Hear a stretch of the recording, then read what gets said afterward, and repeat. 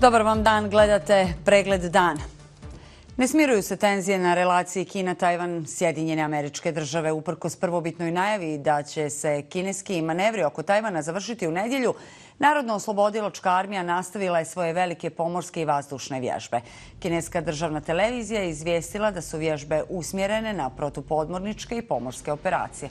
Kinesko ministarstvo odbrane navodi da su vježbe neophodno upozorenje Sjedinjenim državama i Tajvanu, opisujući ih kao potpuno razuman i odgovarajući odgovor na njihove nedavne provokacije.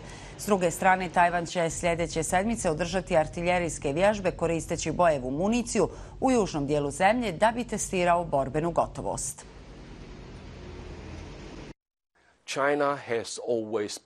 Kina je godinama prijetila Tajvanu, a posljednjih godina postaje sve ozbiljnija i uvijek je tako bilo. Kineska vojna prijetnja je uvijek bila tu.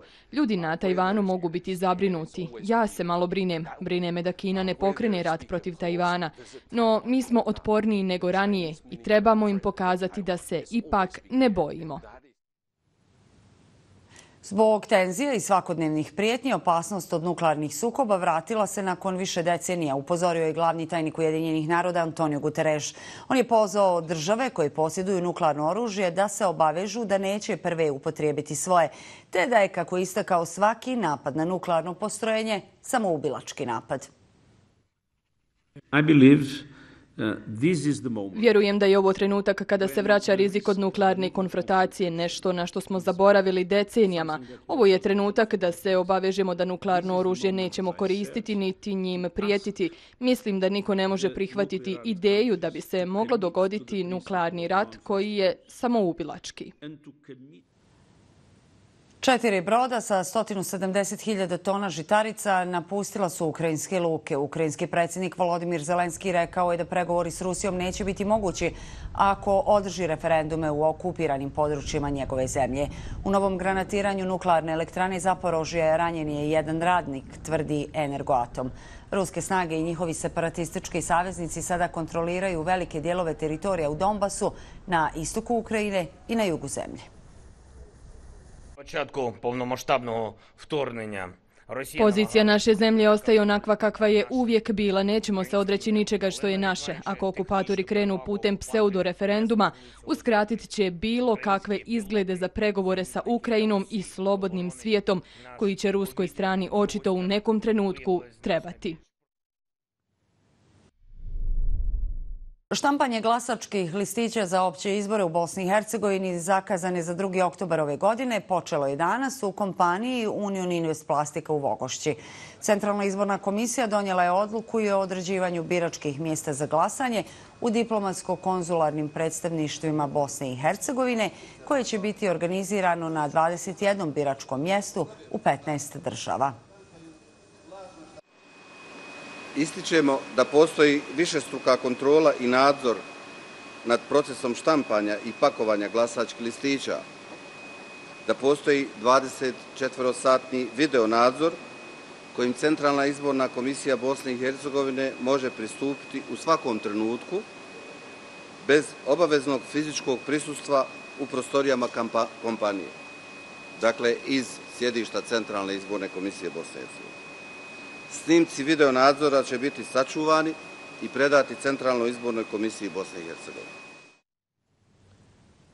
Teška situacija je na požarištu kod Trebinja. Pripadnici helikopterskog servisa Republike Srpske od jutro zgase veliki požar u blizini Trebinja, a očekuje se da u pomoć stignu i dva helikoptera MUPA Srbije, izjavio je direktor helikopterskog servisa Boban Kusturić. Situacija na području planine Bijela Gora je izuzetno teška. Požarna linija je duga više od 20 km i cijelo područje je pod dimom. Zbog vjetra pravac požara se mijenja i sata u sat. Stanje na terenu mogla bi spasiti jedino kiša.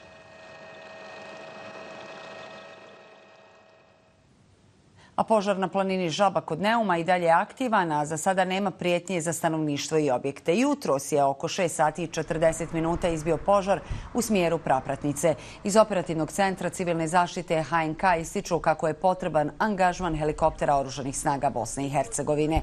Požari na Borcima i Glavatičevu kod Konjica i dalje su aktivni. Na Borcima je stanje malo bolje, dok je u Glavatičevu požar ušao u Minsko polje. Pored ovih, u posljednje 24 sata vatrogasi u Hercegovačko-Neretvanskom kantonu imali su još 11 intervencija. I to u Mostaru, Čapljeni, Čitluku, Konjicu i Prozor Rami. Dio turističkih vouchera koje subvencionira vlada federacije u iznosu od 200 maraka od danas je dostupan građanima. Od mori u Bosni i Hercegovini, City Deal i e-kupon, platforme su na kojima će se moći kupiti kuponi za destinacije u federaciji. Zbog velike zainteresiranosti neki sajtovi nisu u funkciji od jutro, ste se građani moli za strpljenje. Ukupan broj raspoloživih vouchera je 10.000. Minimalna cijena pojedinačnog turističkog paketa iznosi 250 maraka, a kupac prilikom kupovine mora minimalno doplatiti 50 maraka. Kompletan proces kupovine i plaćanja obavlja se putem platformi.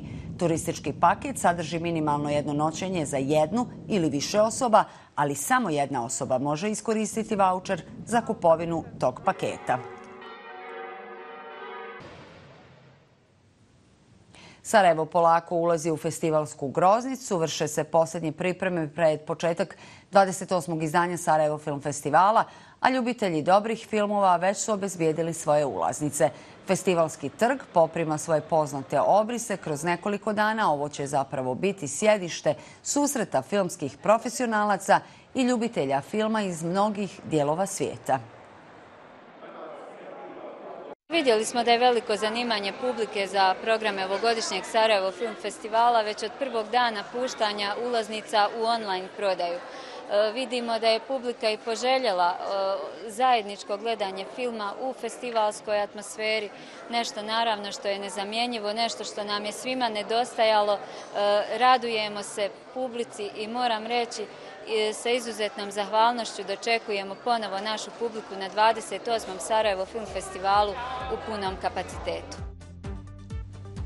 Gledali ste pregled dan. Hvala vam za pažnju i doviđenja.